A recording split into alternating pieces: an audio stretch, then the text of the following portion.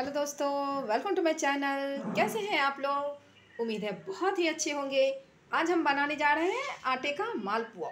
बहुत ही टेस्टी और बहुत ज़्यादा यमी बनके तैयार होता है। आप देख सकते हैं कितना बढ़िया और मज़ेदार बनके तैयार हुआ है ये। ऊपर से बिल्कुल क्रंची है, अंदर से एकदम सॉफ्ट नर्म, मुलायम। बहुत इसका टेस्ट बहुत ही लाजवाब होता है।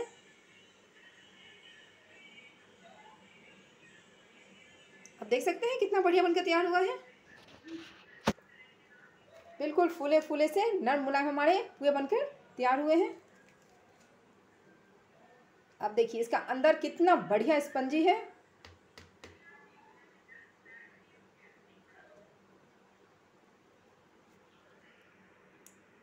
तो देर किस बात की? चलिए बिना देरी किए हम इसे बनाना शुरू करते हैं।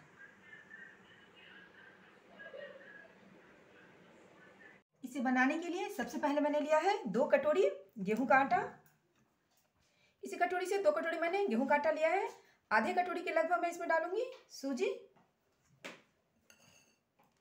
एक कटोरी के लगभग जाएगा इसमें चीनी।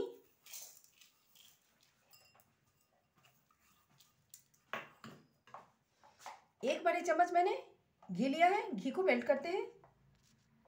अब इसमें डालेंगे हम इलायची इलायची पाउडर। अच्छी तरीके से इसको पहले मिक्स कर लेते हैं। ये पुआ बहुत ज़्यादा टेस्टी बनता है।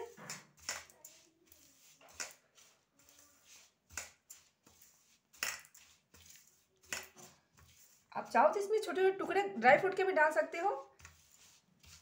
मैं ऐसे ही बनाऊँगी, हमारे टेस्ट में ऐसे ही अच्छा लगता है। इसमें सिर्फ़ इलायची और शुद्ध देसी घी का टेस्ट आता है तो बहुत ज़्यादा अच्छा लगता है। सारे पुआ में यही पुआ जो है, बहुत ज़्यादा टेस्टी लगता है। घी को मैंने मेल्ट कर लिया है। कटोरी में लगभग ये आधी कटोरी है।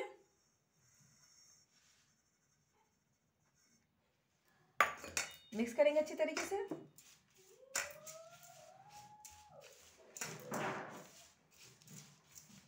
इस होली आप इसे बना के ज़रूर ट्राई करें। बहुत ही टेस्टी और लाजवाब स्वादिष्ट ये पुआ बनके तैयार होता है। और गेहूँ काटे से हमने बनाया है, हेल्दी भी होता है। अच्छी तरीके से पहले हम इसको मिक्स कर लेंगे। घी हमारा अच्छी तरीके से मिक्स हो चुका है। अब हमें लेना है हल्का सा गुनगुना दूध और दूध से हम इसको मिक्स करेंगे। थोड़ा थोड़ा डाल के हमें इसे बनाते जाना है। घोल हमारा तैयार हो गया है। अभी हमें इसकी थिकनेस नहीं जांचनी है। अभी एक से दो घंटे हम इसे रेस्ट के लिए छोड़ देंगे।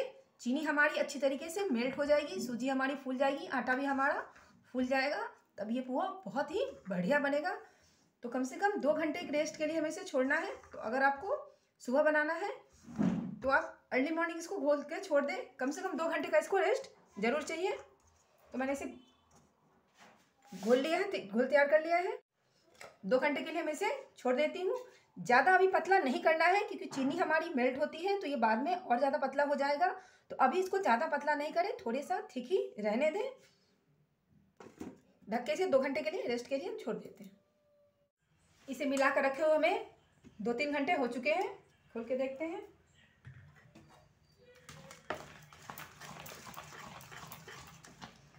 अभी मिक्सचर हमारा बैटर थिक है। हल्का सा हमें इसे और ढीला करना है। आप देख सकते हैं, अब ये ठीक है। जो भी इसका, इसकी चीनी थी, पूरी तरीके से मेल्ट हो चुकी है।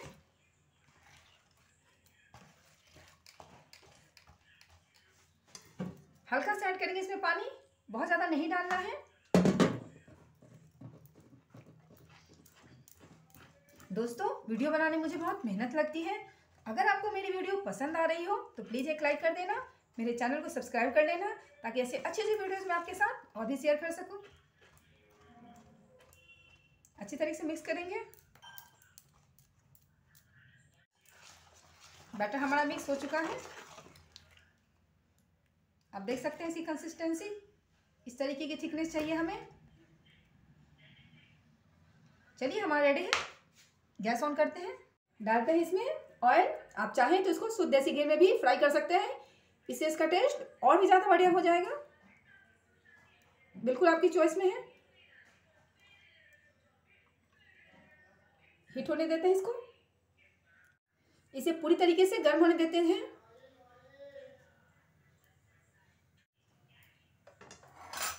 कुकिंग ऑयल हमारा पूरी तरीके से गर्म हो चुका है।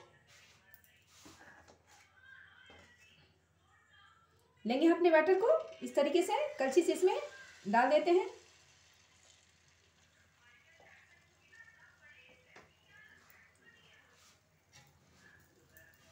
ये अपने आप ऊपर आएगा, अब इसे फिर टच करने की ज़रूरत नहीं है। अभी हम इसे पकने देंगे, ये अपने आप पक्के ऊपर आ जाएगा। फ्लेम को मिडिल पर रखें।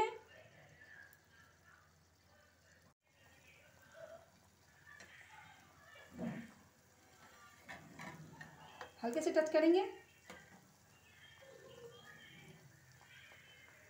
अब देख सकते हैं, ये ऊपर आने लगा है।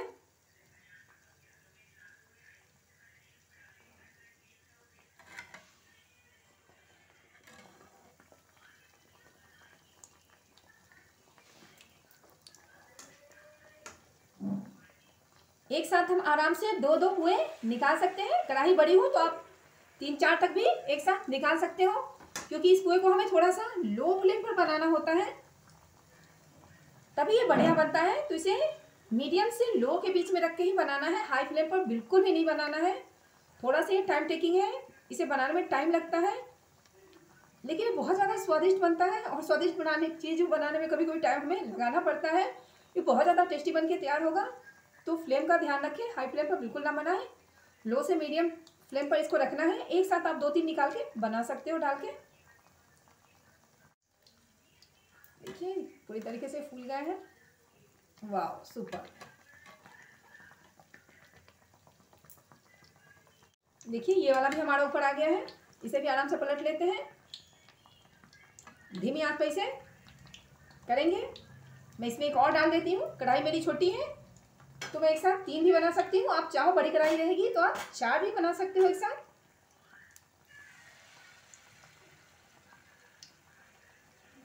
बहुत ज़्यादा टेस्टी और यूनिक रेसिपी है, बहुत ज़्यादा मज़ेदार बनती है ये। बना के ज़रूर ट्राई करना।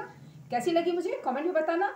और अगर आपने अभी तक मेरी वीडियो को लाइक नहीं किया चैनल को सब्सक्राइब नहीं किया तो प्लीज़ कर लेना। थोड़ा सी इन्हें गोल्डन ब्राउन होने तक हमें पकाना है। थोड़ी देर होने देते हैं।